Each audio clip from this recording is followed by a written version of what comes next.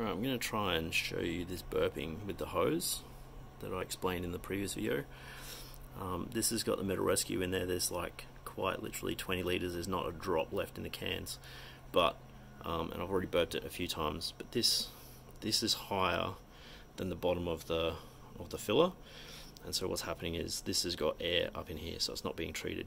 So because this is level, to try and get it treated, um, I'm just using this bit of bit of pipe which just put your thumb over the end of this. That's got a little bit of coat hanger sticking out the top there to stop it from um, sealing off the inside. And I'm going to try and do this. I'm filming left-handed and I'm trying to do this one-handed, so just bear with me for a second while I get it in there.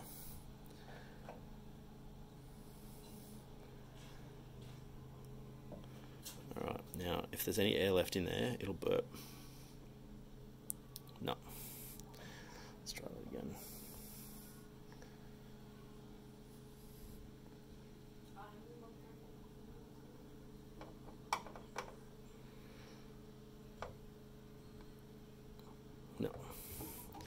Alright, well, it seems like it's full. Anyway, that burped about six times while I was filling it up.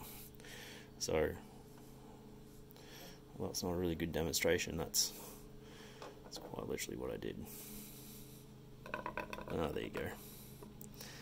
So that is how to get the material up into the very top of the cavity. Alright. Um, so as far as the setup for this goes, for this job, uh, I've got the there's a bolt in the banjo receiver, a whole bunch of blanking hoses blanking it off, some timber blocks to hold the base of it up. Underneath this little toe box, because they're notoriously flimsy, I've got a piece of foam to support the bottom of it so it doesn't break through. And then that is just going to sit for probably the rest of today. It's bang on 20 degrees today, so um, the day's only about to get warmer, so it should it should go pretty well. Uh, it's been about a week since I did the vinegar treatment last weekend. Um, the temperature went really cold on Sunday, so I didn't get around to doing it.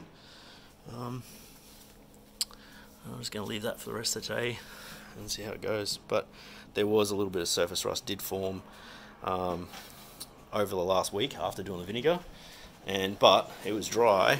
And when I upended it, this is what the inside of the fuel tank was coated with. So that's what four years of sitting